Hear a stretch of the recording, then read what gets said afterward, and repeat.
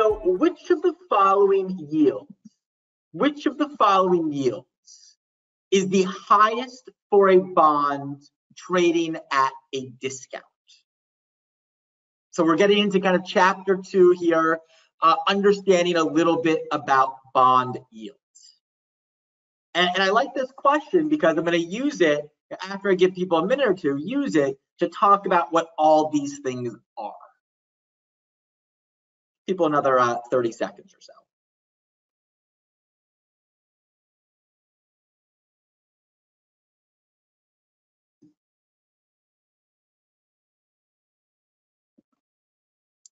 So the best answer, and we're going to talk about why, is yield to call.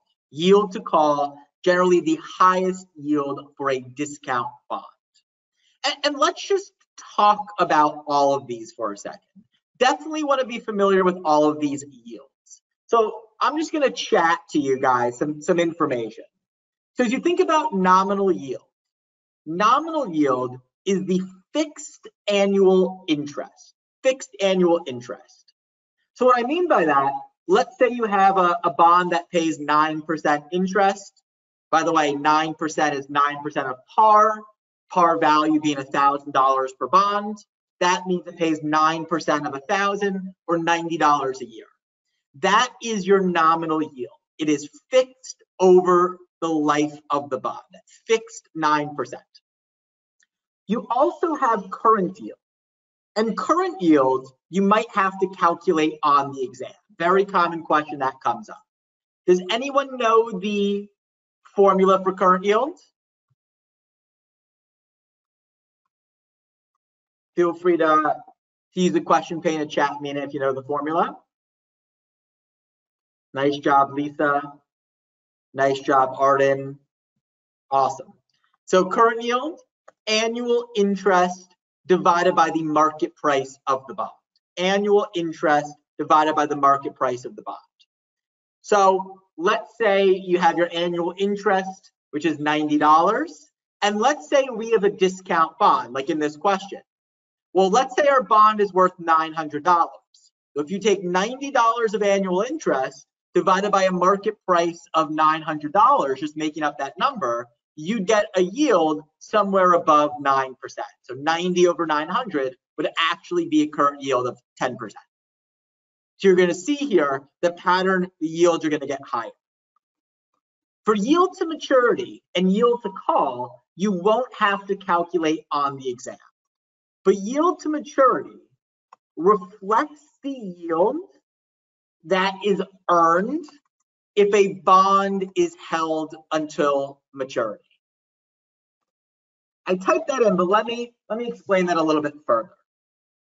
So let's say you buy a bond today for $900. So buy bond for 900 that matures in 10 years. Just chatted you everyone so you can kind of follow along here.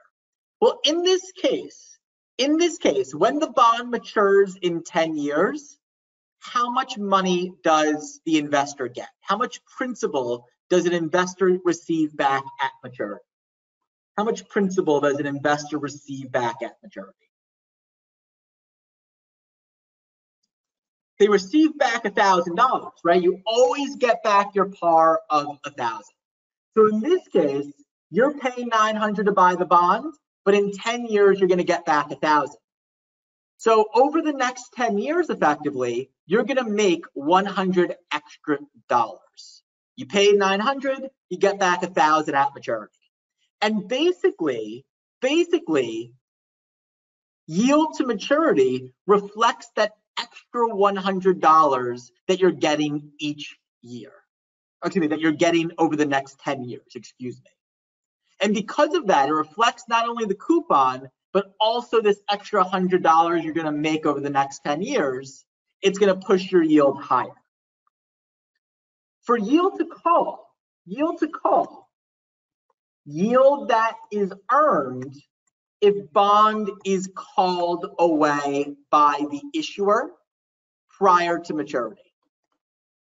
So what I mean by that is let's say you have the same 10 year bond at 900 So it matures in 10 years, but the issuer buys back the bond after year five. Well, thinking about it for a second, instead of having to wait the full 10 years to get back our principal, in this yield to call scenario, rather than waiting 10 years, we're going to get our money back after year five. So we're going to make that same $100, but rather than stretching that $100 over 10 years, we're stretching that, we're, we're making that same $100 over five years. Put differently, that $100 gain is accelerated over a fewer number of years. We're getting our money back more quickly. And for that reason, for a discount bond, yield to call is the greatest because it reflects that you get back that additional juice the most quickly. You might see a question on the exam like this about the different yields. You will absolutely see questions on the exam about nominal yield, current yield, you know, current yield calculation kind of kind of right for the exam. Uh, definitely important.